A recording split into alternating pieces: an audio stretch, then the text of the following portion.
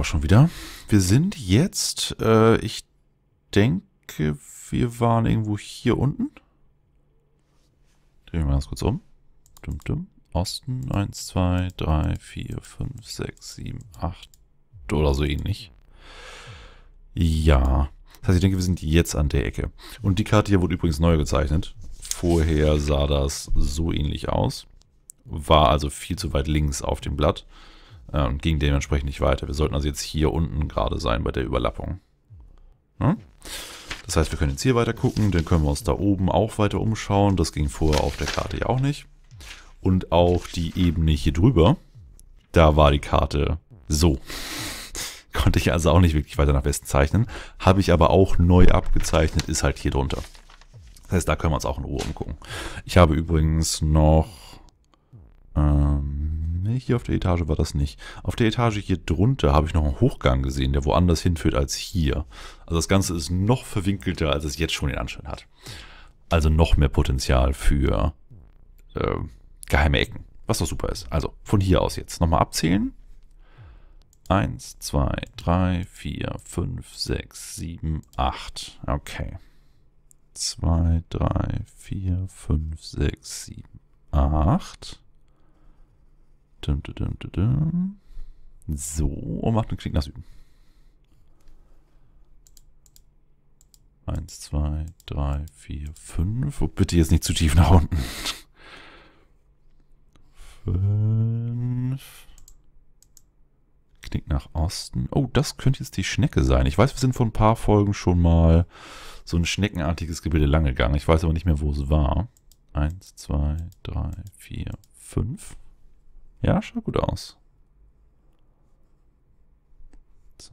Fünf und dann nach Norden. Da waren wir allerdings schon und äh, haben auch schon den Loot. War, glaube ich, ein Zauberstab. Eins, zwei, drei. Wobei ich von den Zauberstäben halt nicht sehr beeindruckt bin. Weil theoretisch, wenn man sie findet, müsste man sie aufheben und benutzen, damit man weiß, was sie machen. Dadurch haben sie schon mal eine Ladung weniger. Ähm, und dann kann man sie nicht wirklich auseinanderhalten für anderen Zauberstäben. Also müssen wir sich aufschreiben, in welchem Slot man die hintut. Und das ist ein bisschen frickelig alles. Eins, zwei. Oh. Nee, hier waren wir doch noch nicht. Das ist jetzt nicht gut. Warte mal. Eins, zwei. Okay, eins, zwei, drei. Auf dem vierten Feld geht's runter. Hier. Weil es ist denn ja Level minus zwei, wo ich jetzt hingehen würde. Ähm, ich schau mal kurz runter. Ah, okay. Also Level minus zwei ist dann schon das Heuschreckengebiet. Mit einem Druckplattenrätsel. Ja, aber hier will ich nicht hin. Aber das, das ist schon mal gut zu merken, dass das so zusammenhängt und dass das nicht irgendwie nur über die Teleporter klappt. Wobei wir das, glaube ich, schon mal hatten. Na gut, wir sind also jetzt hier. Ich gehe also jetzt zurück, zurück, zurück, zurück, zurück, zurück, zurück, zurück, zurück, zurück, zurück, zurück, zurück, bis hierhin. Und guck dann, was da lang ist. Also rum, rum, rum. Rum, rum, rum. mit der Maus jetzt schon fast so schnell wie mit der Tastatur. Das ist super. Äh, Osten rum.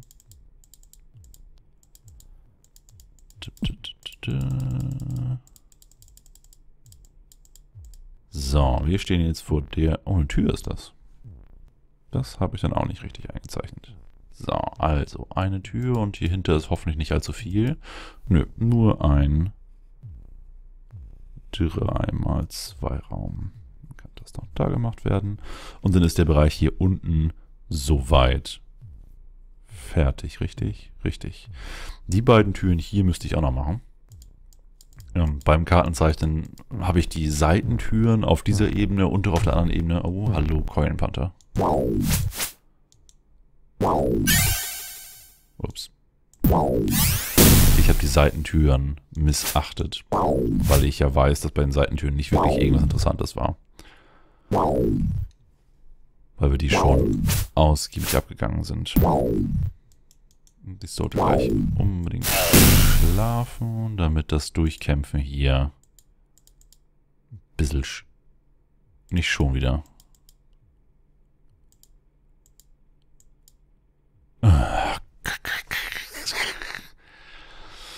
Ich weiß nicht, woran der Bug liegt. Du.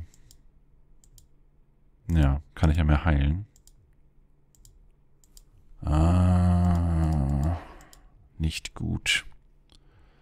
So, hier ist der Dolch-Teleporter. Habe ich jetzt auch hier markiert. Das jedes Mal, wenn wir einen Teleporter haben, mache ich dann so ein X oder Y oder ähnliches hin und schreibe dahinter, welchen Gegenstand man nutzen muss, um diesen Teleporter zu aktivieren.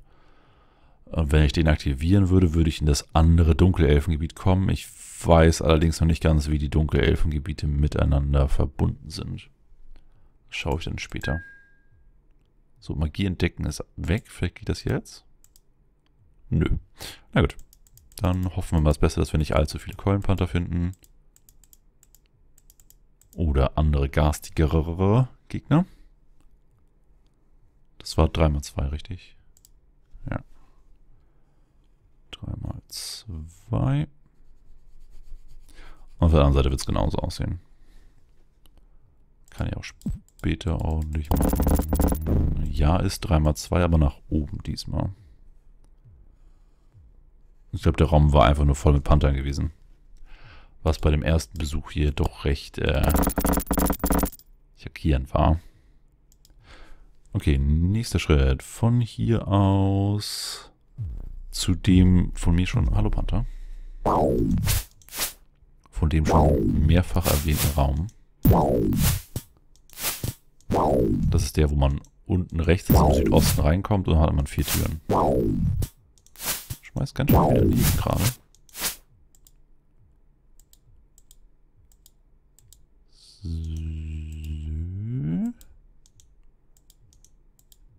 Speere immer schön die linke Hand.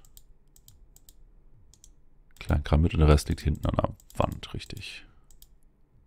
Oh, die hat doch ganz schön Hunger. Das könnte sein. Oh ja. Oh. Das hätte es auch schon früher sein können, dass sie einfach nicht schlafen konnten, weil sie Hunger hatten. Ne. Ja, das ist aber noch ein Bug. Okay. Wäre aber eine schöne Erklärung gewesen, warum sie nicht schlafen können. Weil Hunger kann schon dazu führen, dass man nicht so leicht einschläft. So, wir sind jetzt hier. Da kommen jetzt die vier Türen und die Treppe runter. Die Treppe runter will ich aber noch nicht gehen. Ich will stattdessen oben rum. Genau, hier geht es jetzt ganz lange bis zu einer Tür. Kommt ein 2x2 Raum und dann hatte ich langsam keinen Platz mehr. Eins, zwei, drei Felder. Weitere Tür. Ich bin in der Tür drin. Eins, zwei, drei. Müsste noch bei euch zu sehen sein in der Kamera. Und dann 1, 2, 3, 4, 5, 6, 7, 8 runter. 2, 4, 6, 8. Was denn hier ein wenig den Weg abschneidet. Also wenn ihr das mal anguckt, wir haben ja hier doch recht auffällige Ähnlichkeiten. Also die Türen sind alle auf derselben Höhe. Es gibt immer diese 2x2 Räume, die auch hier wieder auftreten. Ähm, das heißt, der Raum führt eventuell zu... Ne, die Tür geht nur noch da. Ja, hier müssten dann eigentlich Sackgassen sein. Müssen wir dann später mal gucken. Vielleicht werden die auch hiermit verbunden. Heißt, wir haben jetzt hier ein nach da, ein nach da, haben sofort eine Wand vor der Nase. Da geht's hoch. Da geht's schon wieder rein. Ja. Da geht's schon wieder runter. Was ist hier für ein Kuddelmodell? Eins, zwei Felder hoch. Oh ja, das passt. Kommt hier eine Tür. Da müsst... Oh, warte mal. Ja, habe ich verzeichnet. So. Äh, wir kommen rein, haben ein, zwei Felder. Ne, die Tür zu früh gezeichnet. Kommen rein, haben ein, zwei Felder nach Norden, haben dann eine Abzweigung nach Osten auf derselben Höhe wie da und dann die Tür. Das heißt, wenn ich jetzt hier lang gucke, werde ich gleich... Okay, das überrascht mich gerade kurz. Aber ist okay. Aber hier ist dann die Tür, die wir jetzt hinten gerade sehen. Die hier. Das ist die Tür hier. Genau. Ich gehe mal zurück, mache dann noch die losen Enden Richtung Süden rum. Hier geht es einfach nur zwei Felder runter und Sackgasse. Kann man dir trauen, Sackgasse?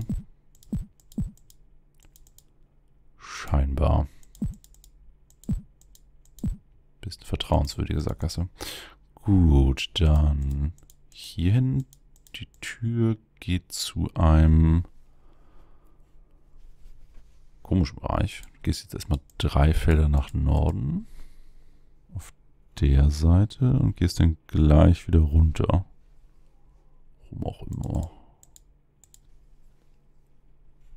Hier einen Strich und verbindest den gleich damit. Okay, also alle drei Gänge führen quasi zu demselben Kladderadatsch. Die sind wahrscheinlich nur so angeordnet, damit es verwirrend wirkt, wenn man keine Karte hat. Weil, wenn man sich einmal, also ohne Karte das Ganze anguckt, dann merkt man sich, aha, hier ist eine Tür, dann 2x2 Raum, Tür, 2x2 Raum. Ähm, und so, so, behält man das im Kopf. Wenn es aber mehrere Gegenden gibt, die halt, ne, immer Tür, 2x2 Raum, Tür, ne, dann ist es schwer, sich zu orientieren.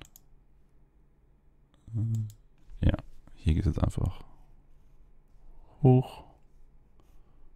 Darum, darum, passt. Und das ganze Schwarzzeichen kann ich später machen. Äh, okay, das heißt, es geht nur noch hier unten weiter. Ich sollte jetzt also zurück nach Süden, nach Westen. Dann stehe ich jetzt hier. Richtig? Nee, ich bin gerade hier. Muss noch weiter nach Süden. Süden, Süden, Süden, genau. Hier ist der Gang von Westen. Wir stehen jetzt hier. Es geht nach Süden, dann nach Osten. Und hier ist so eine komische Einbuchtung von wie vielen Feldern? Zwei Feldern. Da geht es gleich wieder hoch. Osten weiter. Eins, zwei Felder und das ist eine Druckplatte.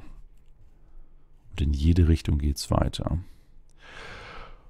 War hier der Dreher, wo die Gegenstände auf dem Boden lagen? Nee, das ist weiter oben gewesen. Ich guck mal, also Osten gucken wir gerade hin. Au. Ganz normale Wurfpfeile. Ja, okay. Norden und Süden ist einfach nur eine Sackgasse, wo die Pfeile rauskommen. Und da vorne wird das gleiche auch passieren. Ja, da sind diese Vertiefungen, die ich vorher gar nicht gesehen habe. Wird aber anscheinend nur einmal ausgelöst, ist okay. Oh, Zeug.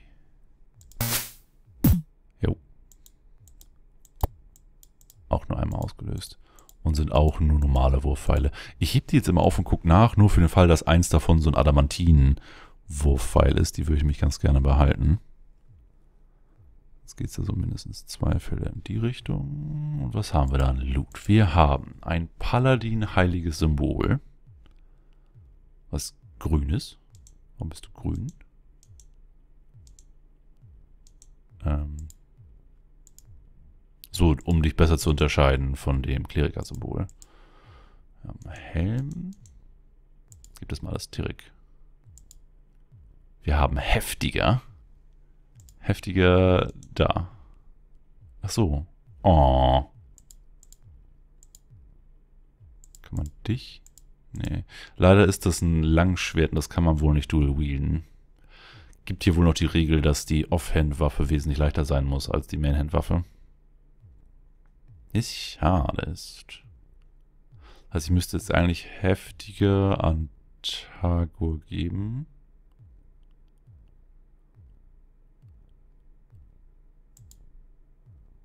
Ich traue Tagor nicht.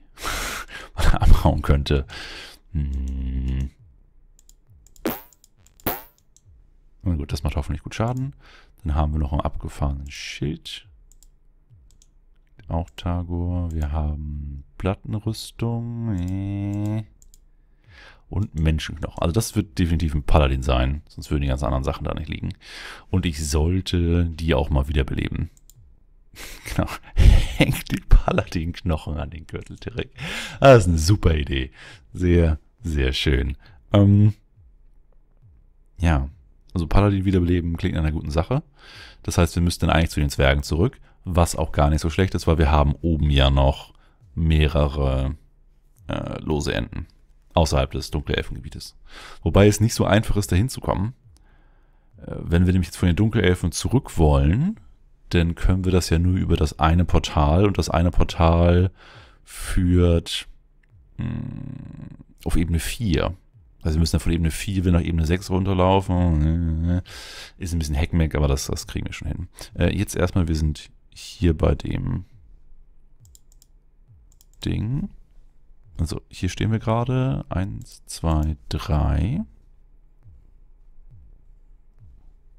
Und dann kriegen wir jetzt wieder Schaden.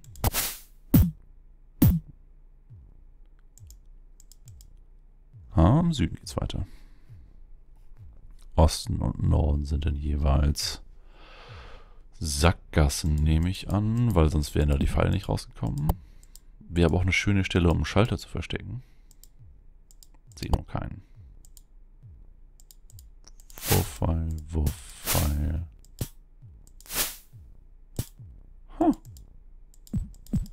Die, die, die fliegt zurück in die Löcher rein. Das waren sehr gute Würfe. Ganz, ganz toll gemacht, dass du genau da wieder reingeworfen hast, dass wir sie nicht aufheben können.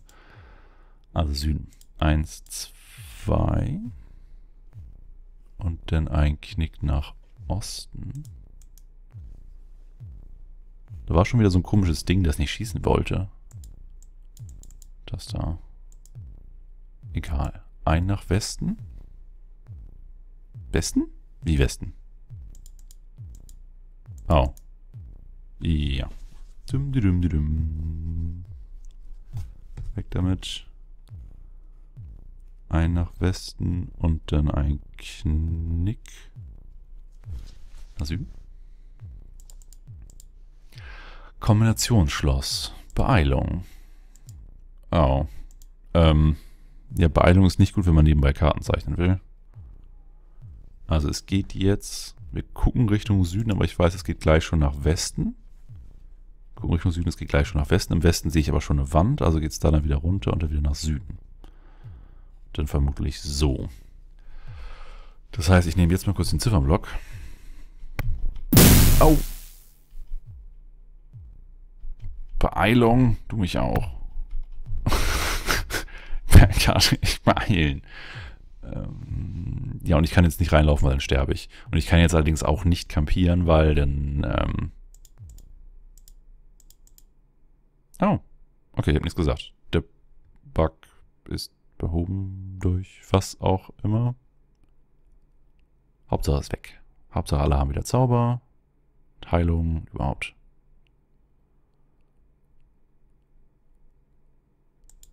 Okay. Äh, ja, drauf treten. Wenn man sich nicht beeilt, fliegt das Ding nämlich vorbei. Du bist gemein. Also, aktivieren. Ach so. Der muss abgefangen werden. Oder? Erstmal nehme ich den Schlüssel hier mit. Der, der wird schon mal nicht schaden. So. Und es sind hier überall Schalter. Und die Tür ist zu. Ich könnte die Tür eventuell einfach mit dem Schlüssel öffnen.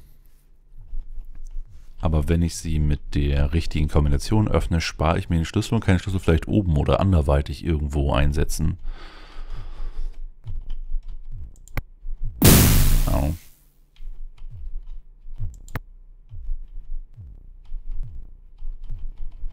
Drückst du dann die Schalter?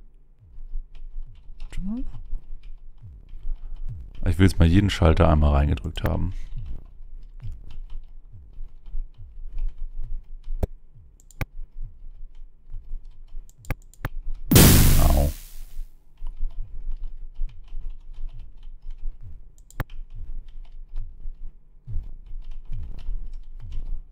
Sind alle reingedrückt. Tür ist immer noch zu. Also muss man die... Muss ich wirklich beeilen? Hier macht's Klick.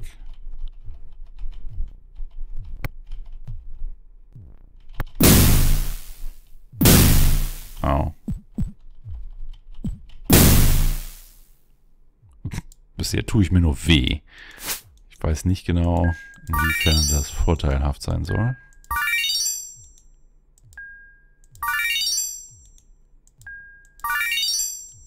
So.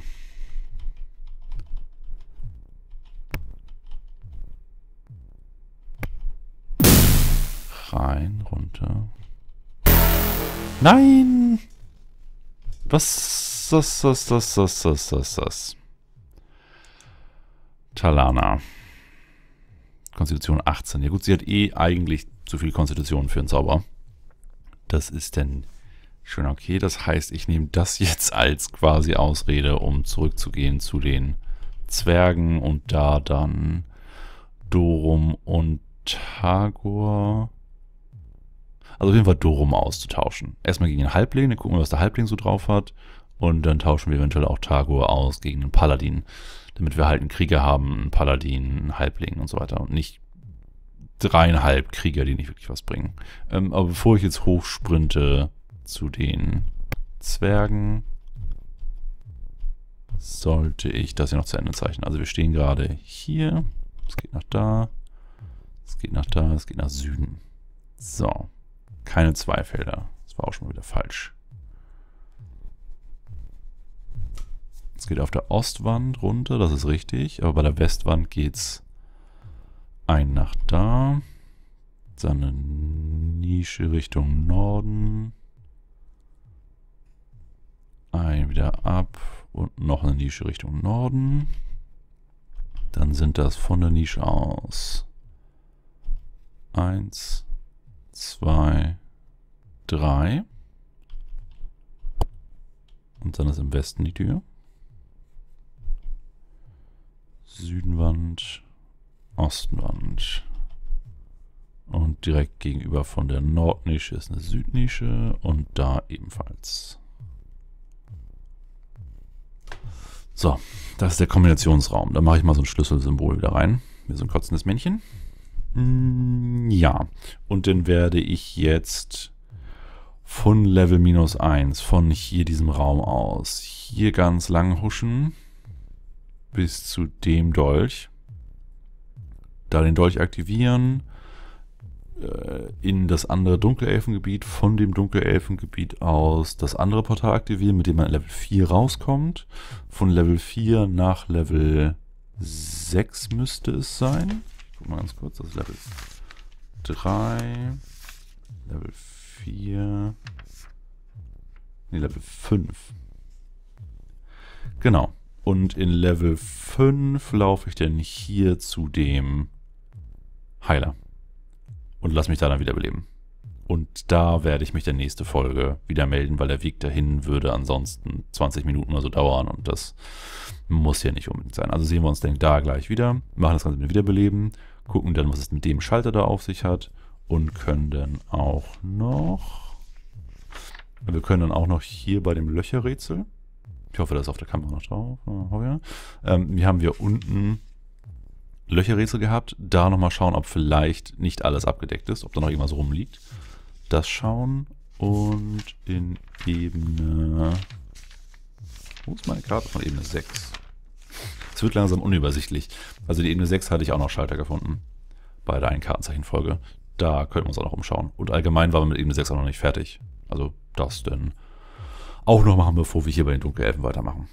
Weil bei den Dunkelelfen ist doch noch ziemlich viel. Also einmal geht es hier weiter, ja. Dann haben wir aber auch noch